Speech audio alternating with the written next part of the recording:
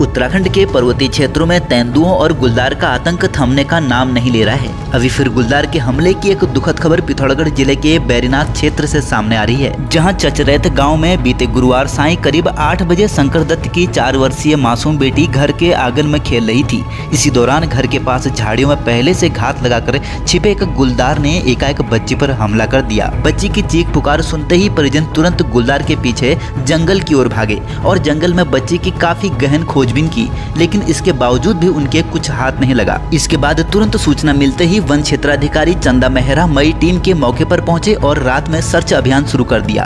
तीन घंटे की काफ़ी मशक्कत के बाद बच्ची का छत विछत सऊ झाड़ियों से बरामद हो गया। इस दुखद घटना से जहाँ बच्ची के परिजनों में कोहराम मचा हुआ है, वहीं पूरे क्षेत्र में भी दहशत व्याप्त है। वहीं अब दहशत ग्रामीणों ने वन विभाग से आदमखोर गुलदार को पकड़ने या फिर मारने की मांग की है। बने रहिए पहाड़ से मैदान की हर खबर के लिए देवभूमि दर्शन के साथ।